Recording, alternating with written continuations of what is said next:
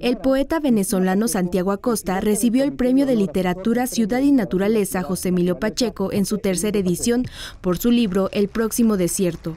En la recta final de las actividades de la Feria Internacional del Libro de Guadalajara, Acosta celebró el galardón al tiempo que se pronunció porque se trabaje en favor de revertir el cambio climático. Siempre lo que se me ocurre es pensar qué impresionante que un premio con esta temática, un premio de literatura que invite a pensar el tema de las relaciones entre ciudad y naturaleza y específicamente el problema del calentamiento global y la crisis ecológica, reciba tantos trabajos.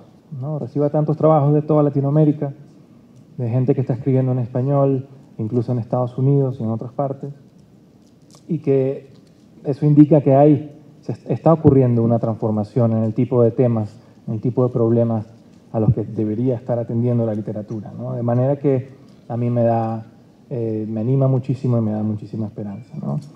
El Premio de Literatura Ciudad y Naturaleza José Emilio Pacheco es convocado por el Museo de Ciencias Ambientales del Centro Cultural Universitario de la Universidad de Guadalajara, en colaboración con la FIL y con el auspicio de la Secretaría de Medio Ambiente y Desarrollo Territorial del Gobierno del Estado de Jalisco y la Fundación Universidad de Guadalajara.